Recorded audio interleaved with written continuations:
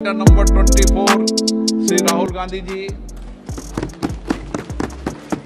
मैं उससे पूछता हूँ, तुम्हारे साथ क्या हुआ? क्या हुआ तुम्हारे साथ?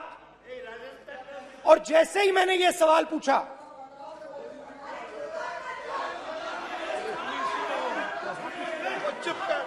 जैसे ही मैंने ये सवाल पूछा, आप महिला का दर्द नहीं सुन सकते। महिला का दर्द नहीं सुन सकते। महिला का दर्द सुनने का आपका धैर्य नहीं है। महिला का दर्द नहीं सुन सकते। महिला का दर्द नहीं सुन सकते। जैसे ही मैंने उससे ये सवाल पूछा। बैठो। जैसे जैसे सर प्लीज़ सर।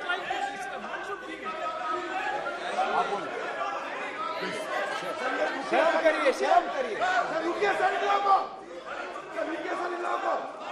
जैसे ही मैंने उससे सवाल पूछा तुम्हारे साथ क्या हुआ?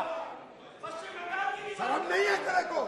वैसे ही एक सेकंड में वो कांपने लगी। उसने अपने दिमाग में वो दृश्य देखा और वो बेहोश हो गई। मेरे सामने कांपती हुई बेहोश हो गई। तो ये मैंने आपको सिर्फ़ दो उदाहरण दिए हैं। स्पीकर सर इन्होंने मणिपुर में हिंदुस्तान की हत्या की है। सिर्फ़ मणिपुर की नहीं, हिंदुस्तान की हत्या की है। इनकी राजनीति ने मणिपुर को नहीं, हिंदुस्तान को मणिपुर में मारा है। दिल की आवाज़ है। उस आवाज़ की हत्या आपने मणिपुर में की। इसका मतलब भारत माता की हत्या आपने मणिपुर में की।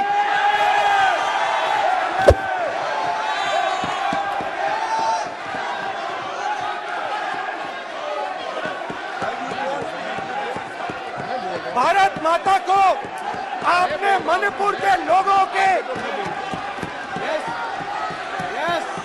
मारा, आपने मणिपुर के लोगों को मारकर भारत की हत्या की है। आप देश द्रोही हो। आप देशभक्त नहीं हो। आप देश प्रेमी नहीं हो। आप देश द्रोही हो। आपने देश की हत्या मणिपुर में की।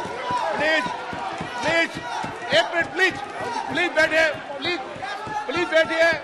अब सवाल आप उठता है। बैठना चाहते नहीं बैठना चाहते?